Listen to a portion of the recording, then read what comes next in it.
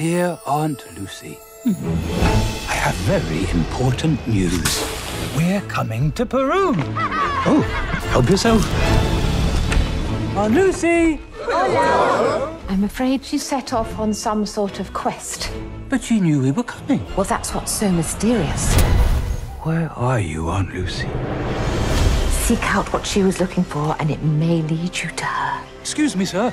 Is this boat for hire? Capitan Hunter Cabot, at your service.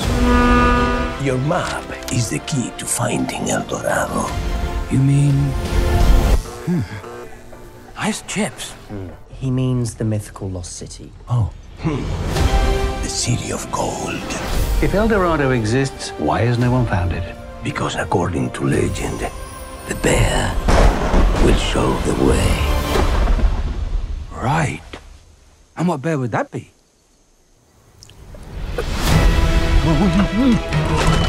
Is it me, or is it getting a bit choppy? We have a slight emergency. Paddington, what are you doing? I appear to be driving the boat!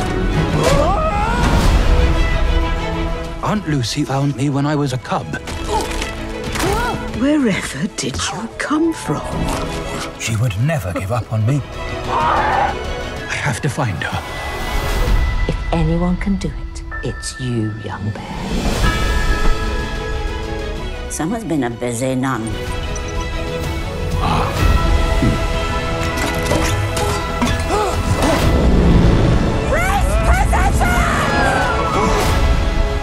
What are you, bear?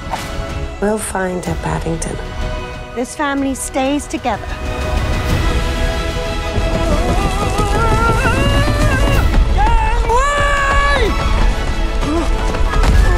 Aunt Lucy always says when skies are grey, hope is the way. I'm coming, Aunt Lucy! Ah! Oh, and remember, never touch this plant. What's it called?